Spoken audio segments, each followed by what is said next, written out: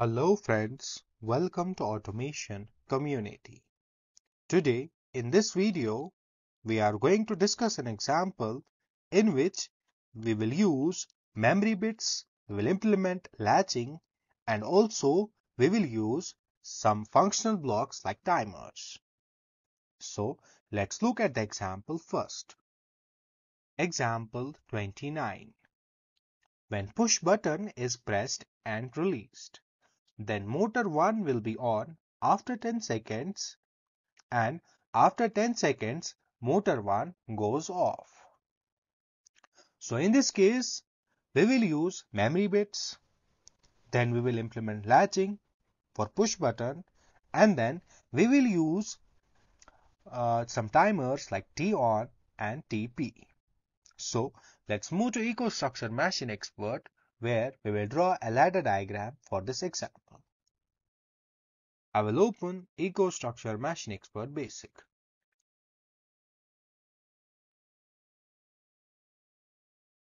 I will keep read protection as inactive and write protection as inactive and then click on apply.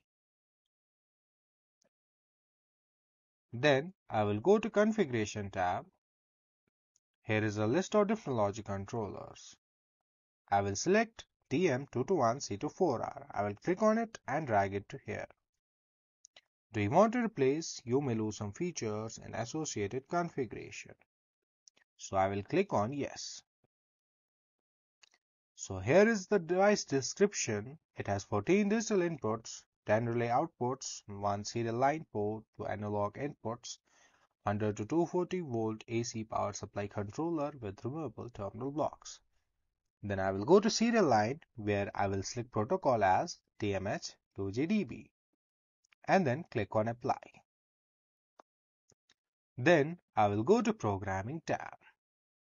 So here I will be drawing ladder diagram. So I will click on this option for a full screen mode and then zoom into it like this. So firstly, I will insert normally open contact and then a coil. So firstly, I will assign address to this contact as I 0.0.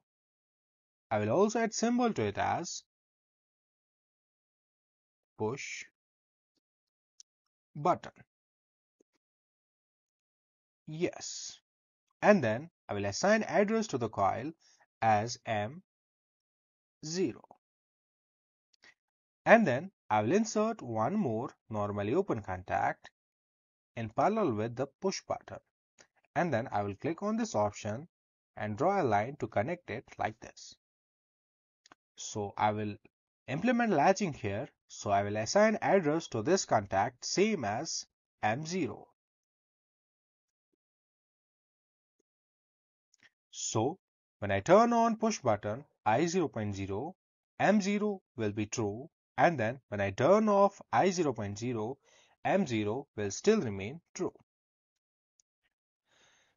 Then I will add a new rung and here I will insert one normally open contact and then a coil. So I will assign address to this contact as M0 and then I will assign address to the coil as Q 0.0.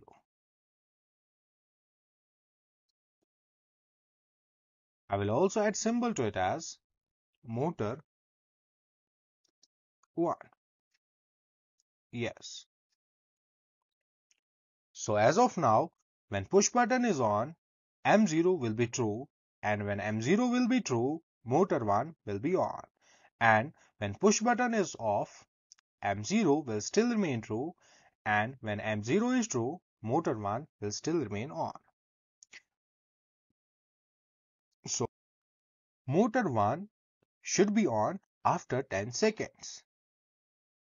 And after 10 seconds, motor 1 goes off.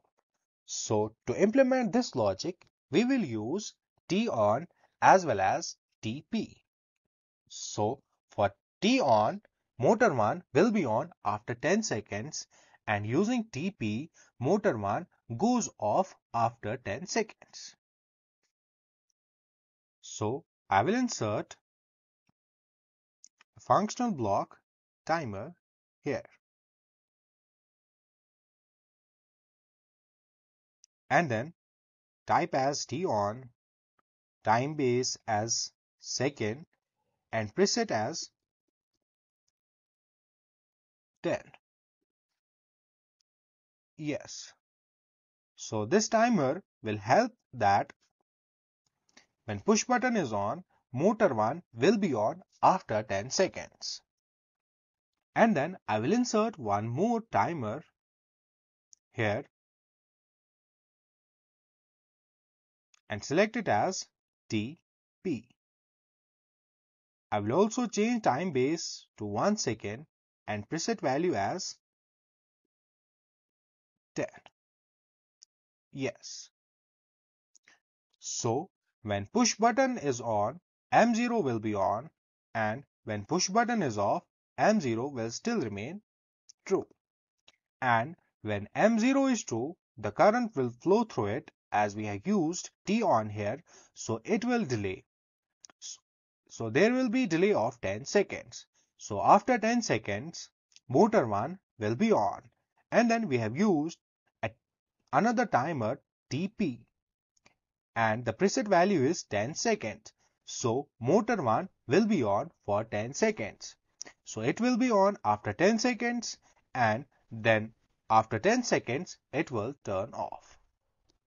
So I will exit full screen mode and I will compile the program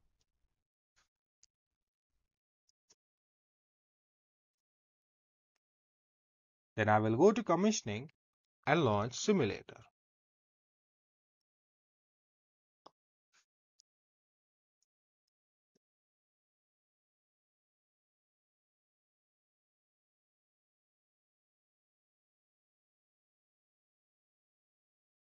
Then I will start controller. To do so, click OK. So I will go to programming tab and click on full screen mode. So when I turn on push button that is I 0.0 and then turn off then after 10 seconds 3 4 5 6 7 8 9 10 so motor 1 gets on and it will remain on for 10 seconds. 4, 5, 6, 7, 8, 9, 10. So after 10 seconds, it will turn off. It was all about this example. Thank you for watching.